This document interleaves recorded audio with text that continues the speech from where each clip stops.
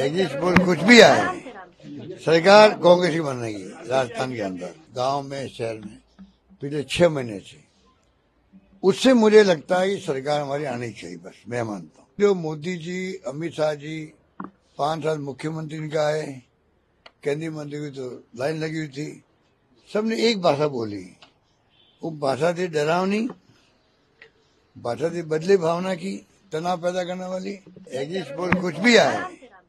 सरकार कांग्रेस की बनेगी, राजस्थान के अंदर। पाँचों राज्यों में बीजेपी कहीं नहीं आ रही है। पाँचों राज्यों में मुझे लगता है बीजेपी कहीं जीत नहीं रही है, नंबर एक।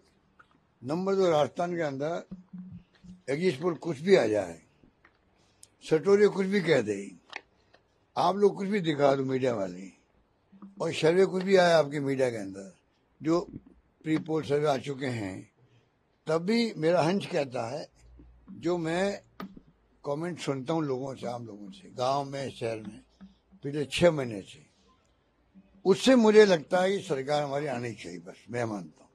मैं कोई एक एक सीट की कैलकुलेट करता नहीं हूँ कभी। मेरा हंच कहता है कि इस बार कांग्रेस सरकार पब्लिक बनाएगी, उसके तीन कारण हैं। एक तो हमारे खिलाफ हिंदुस्तान में पहली गवर्नमेंट ऐसी है, जो एक्सपर्ट कहते हैं, जिसके खिलाफ बिल्कुल ही एंटी इनकमेशन नहीं है। वरना होते ही होता है।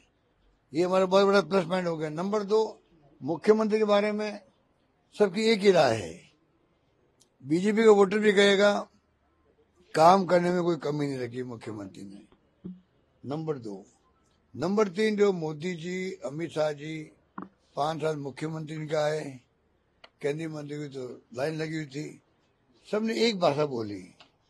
वो भाषा थी डरावनी भाषा थी बदले भावना की तनाव पैदा करने वाली। जो भाषा बोल रहे थे वो वो किसी को पसंद नहीं आ रही थी। और मुझ पे तो धावा बोल दिया, क्योंकि सरकार गिरा नहीं पाई मेरी। जैसे इन्होंने मध्य प्रदेश, कर्नाटक, आंध्र प्रदेश सरकार गिराई वैसी सरकार राजस्थान गिराने फेल हो गए। वो दर्द इनमें छिपा हुआ है दिल के अंदर।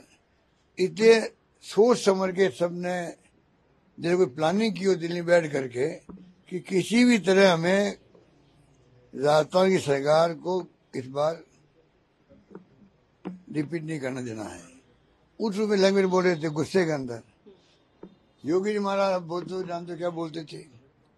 तो ये एक प्रकार से भड़काने वाली बातें भी कर करते धर्म के नाम पे भी। लगता है कि अगर वो चल गया, इनका तो अलग बात है। पर परसेप्शन ऐसा है, वो चला नहीं इनका। नहीं चला तो हम सरकार बनाएँगे।